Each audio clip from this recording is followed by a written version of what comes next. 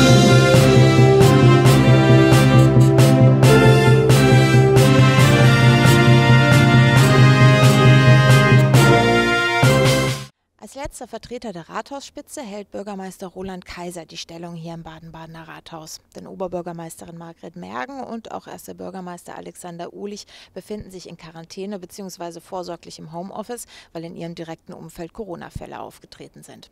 Und Bürgermeister Roland Kaiser informierte heute in einem Pressegespräch hier im Baden-Badener Rathaus darüber, wie denn die Umsetzung der Verordnungen in der Corona-Krise in Baden-Baden laufen und äh, auch über die Betreuung der Kleinsten und der Ältesten Baden-Badener.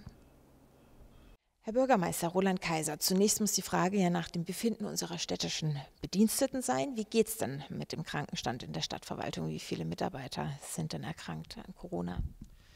Also wir haben prinzipiell rund 180 erkrankte Personen und die sind aber natürlich nicht alle Corona erkrankt. Wir haben ja vor allem eine Influenza-Welle, ähm, also da rund 180 die im Krankenstand sind. Wir haben dann noch circa 40 Personen freigestellt äh, wegen Schwangerschaft und anderem, ähm, wo jetzt auch eben Corona dann mit eine Rolle spielt, dass wir früher freistellen wie sonst.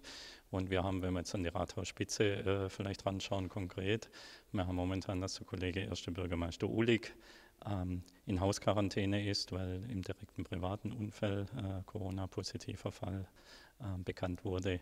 Äh, er ist bis zum 31.03. in Hausquarantäne und auch unsere Oberbürgermeisterin, Frau Mergen, ähm, momentan in Telearbeit, also von zu Hause aus äh, arbeitet, ähm, weil auch eben im Stab der Oberbürgermeisterin ein positiver Corona-Fall ähm, aufgetreten ist.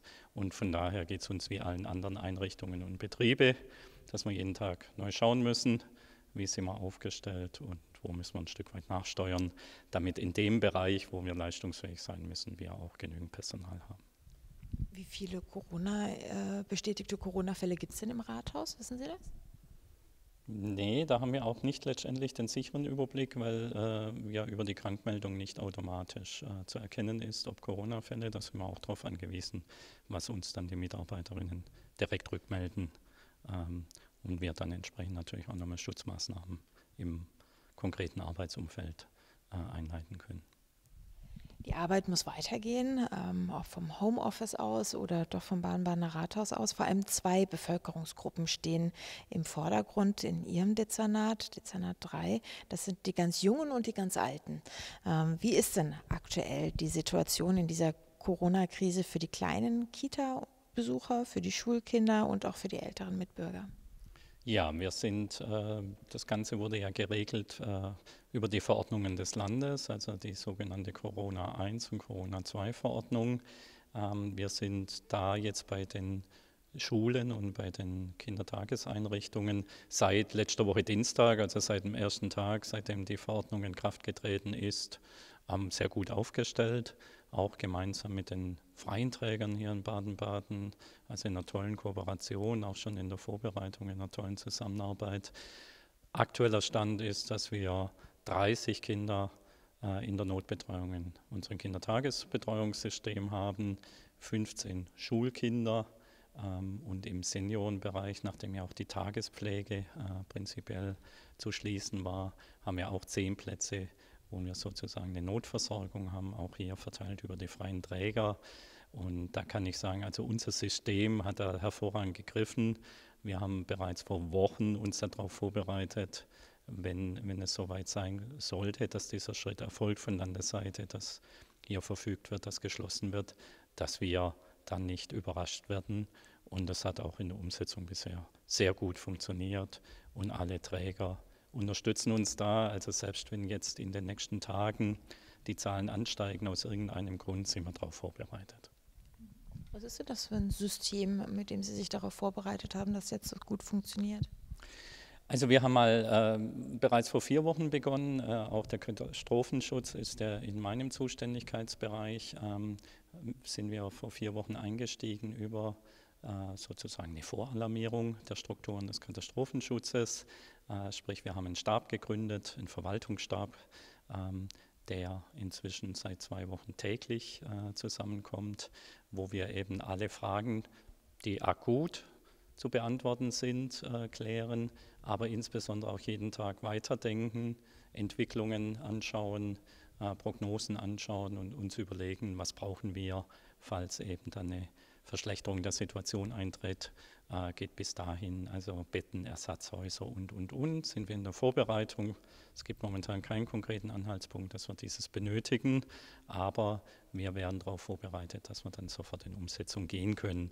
Und von daher haben wir also noch keinen Katastrophenstab in Baden-Baden, ähm, sondern wir sind in diesem Verwaltungsstab tätig. Inzwischen gibt es auch einen zweiten Stab, der dann äh, im Dezernat 1 bei Frau Mergen angegliedert ist, wo es um die hausinterne, rathausinterne Fragestellungen geht, äh, da die Umsetzung. Aber wie gesagt, mit den Katastrophenschutzorganisationen, mit der Polizei und dann auch die Abstimmung mit freien Trägern in der Betreuung läuft über das Dezernat 3 in diesem Stab. Eine ganz grundsätzliche Frage geht in die rechtlich bedingten Verpflichtungen der kommunalen Ebene. Das sind zum einen äh, die, die Aufgaben im Zusammenhang mit dem Infektionsschutz einerseits und dann gibt es auch die wirtschaftlichen Programme andererseits. Ähm, wo ist denn die Stadt da in der Pflicht? Also wir sind natürlich sehr direkt äh, in der Pflicht, was Ordnung und Sicherheit angeht. Das heißt jetzt äh, Überprüfung der Umsetzung, ähm, über die Verordnung Schließung der Läden, der Gaststätten, die nicht mehr geöffnet äh, haben, nicht mehr geöffnet sein dürfen, ähm, aber auch eben des öffentlichen Raumes, eben, dass nirgends mehr äh, große Gruppen entstehen, dass der Mindestabstand eingehalten wird und so weiter. Da kann ich aber zur Lage in Baden-Baden vermelden, äh, dass wir, sag mal, in den ersten zwei Tagen mussten wir noch viel Aufklärungsarbeit geben. Bei Ladeninhaber war viel Unsicherheit, also wirklich auch das Beratungsgespräch im Vordergrund äh, stand. Und aber inzwischen, also seit dem letzten Wochenende, haben wir da wenig Auffälligkeiten. Wir haben natürlich am Sonntag beispielsweise noch zwei Gruppen gehabt, die Fußball gespielt haben, wo aber dann bei Erscheinen von Polizei bzw.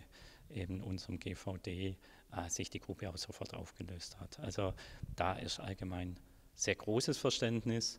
Was wir haben, sind eher äh, aus Unsicherheiten heraus Nachfragen, äh, dass man auch vor Ort dann das Ladengeschäft anschaut, weil eben Teilbereiche abgesperrt werden müß, müssen, ähm, weil da kein Verkauf zugelassen ist, aber der Lebensmittelbereich ähm, wir ein großes Interesse haben, auch als Stadt, dass, dass die Lebensmittelbetriebe offen bleiben, dass fußläufig die Bürger und Bürgerinnen Lebensmittel einkaufen können.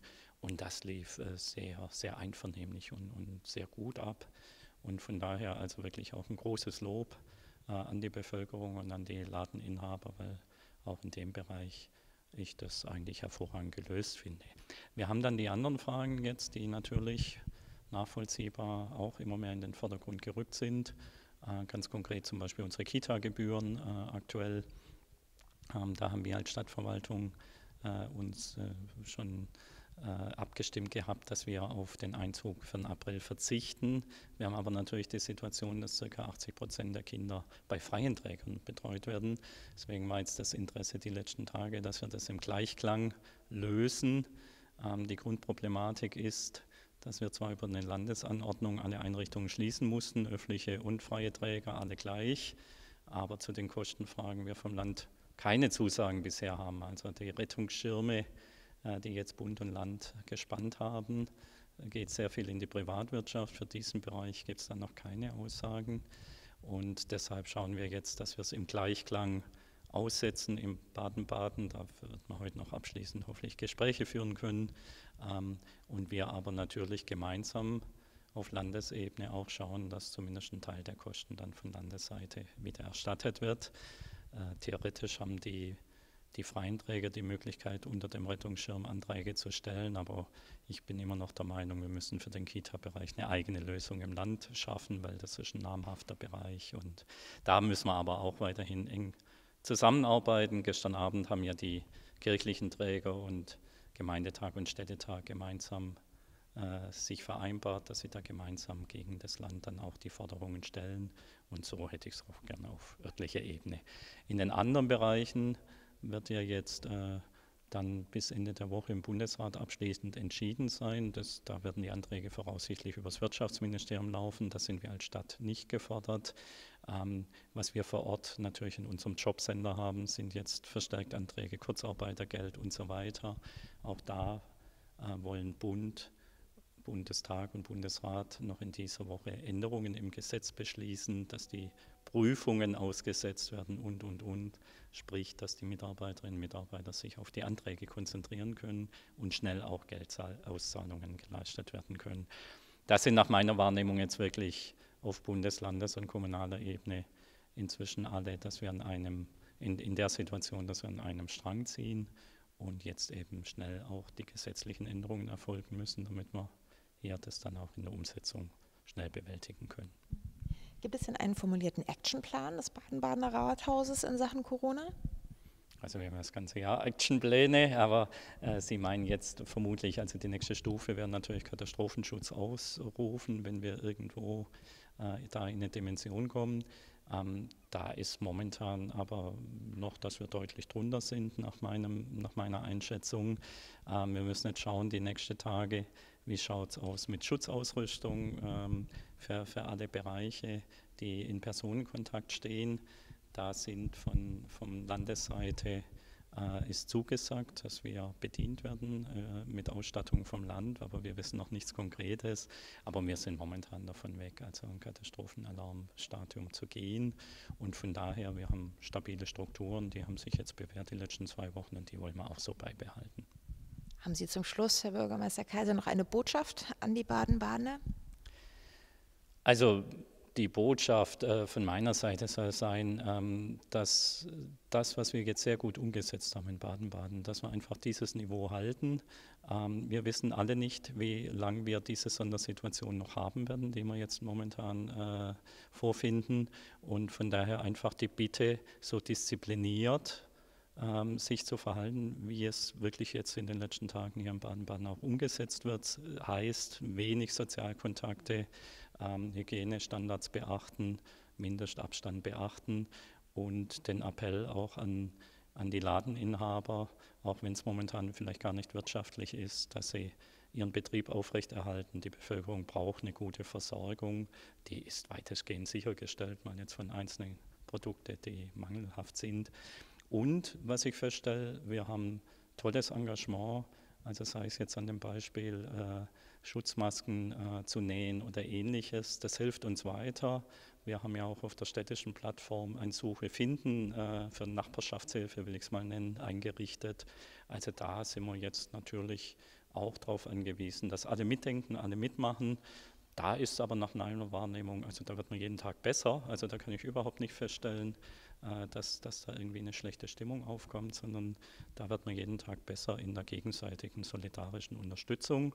Und da baue ich drauf, dass wir das auch in den nächsten Wochen so haben werden. Vielen Dank, Herr Bürgermeister. Danke, Roland Kaiser. Ich bedanke mich und wie gesagt, bleiben Sie alle gesund und unterstützen Sie in Ihrem Umfeld, wo Sie können.